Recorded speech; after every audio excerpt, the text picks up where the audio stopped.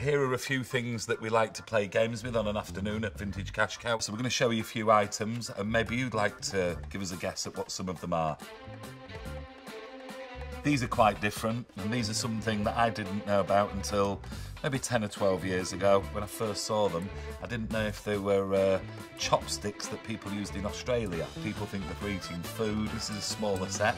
This is a bigger set with a lever action on like this. Both the same, look like chopsticks, work in the opposite direction. Be nice to know if you knew what they were.